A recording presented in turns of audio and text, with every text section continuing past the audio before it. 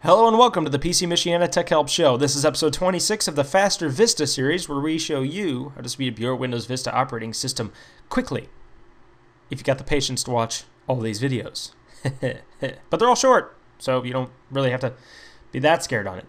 Go ahead and scroll down to the bottom left hand corner. Got another registry tweak for you today. Select the start button, type in reg edit like we have in the previous two videos. Scroll up to your programs, right click on it, click run as administrator. Now what we're going to do this time is we are going to expand the H key local machine like we did before, then expand system, expand current control set again, then expand control, and we want to double click on file system again. We were in here in the previous video.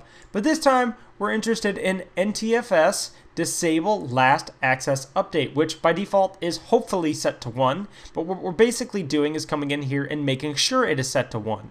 What this does is it sets a timestamp each time a file is accessed into your Windows operating system. Now, this isn't the same as your last modified on, that you normally see on your files, you want to keep that. That's actually, this is not going to affect that.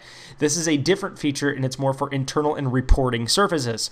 Now, if you think this is useless, like I do for 95% of you, go ahead and double click on it and select the value data to 1 if it isn't that already. Then select OK. If it's not in here, of course, I'm going to delete this.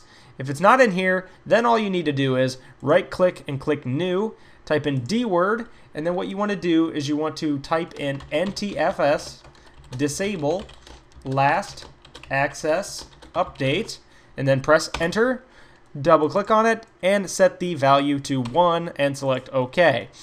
And that's all there is to this episode. If you want to know more about the last access update registry enter entry, you can check the video description. Don't forget to leave comments and ratings, and always don't forget to subscribe because it helps me out. And YouTube likes subscribers, and I have a good chance of someday becoming a non quite so poor partner. Thanks again.